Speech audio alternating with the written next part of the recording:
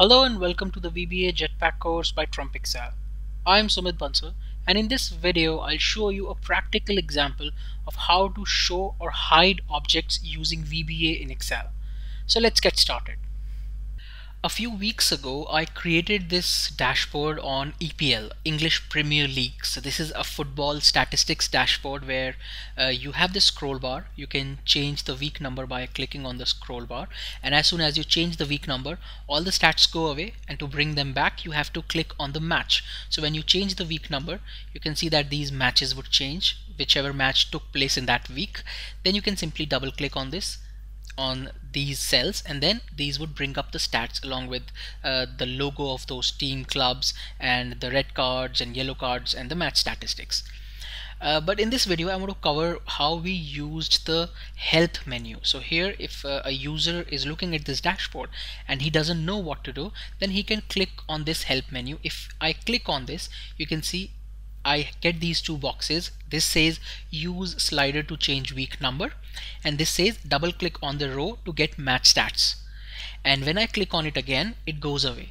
So this is a very nice way of putting a help menu where if you have say three or four steps then you can even number these steps. Maybe you can have number one do this enter your name. Number two enter your date of birth. Number three enter your details or your address. So these could be one thing where you can show help and then it could be a toggle button. So if you click on it again it goes away.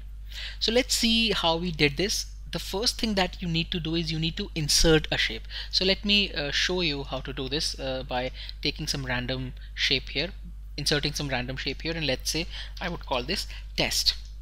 And uh, the next thing that I want to do is I need to name this text box. So I would go to the name manager here and as of now it says a rounded rectangle 35 which is the default name that it uses. I would call this uh, let's say test test VBA and now uh, let's see how this works. I would go back to the VB editor. I already have the code for these two text boxes. Let me add the third one and we will also go through the code.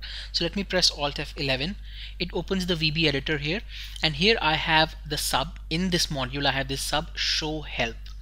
And the first line is on error resume next. It's just for precaution but uh, it's nothing uh, I don't expect any error to occur and then here are two if statements. The first one is if active sheet dot shapes is help scroll bar. And here if I come back and I open this you can see this text box has been named help scroll bar. And this one has been named help double click.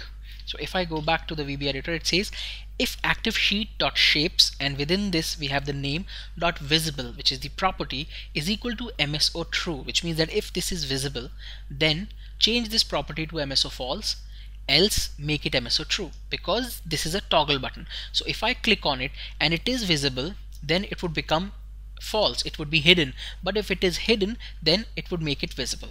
And similarly, I just replicated it for this uh, text box as well. Let's do this for the third one that we have created.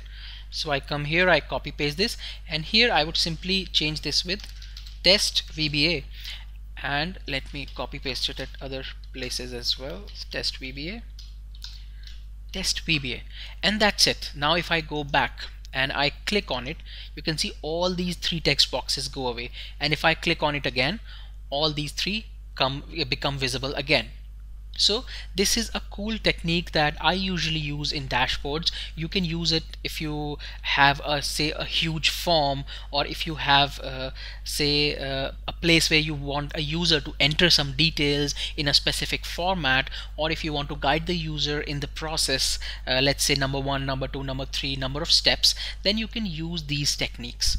And you can see it's so simple you can add more boxes to it. All you need to do is change the code in the backend so that's it in this video. I hope you found this useful. Thank you and have a nice day.